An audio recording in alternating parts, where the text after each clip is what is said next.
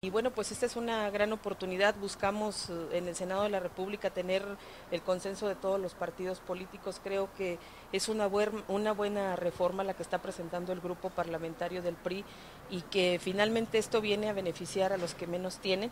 que viene a beneficiar a los consumidores finales, que es la gente más pobre